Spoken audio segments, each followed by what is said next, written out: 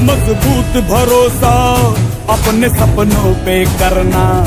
जितने मुँह, उतनी बातें गौर कितनों पे करना। आज लोगों की बारी, जो कहें कह लेने दे।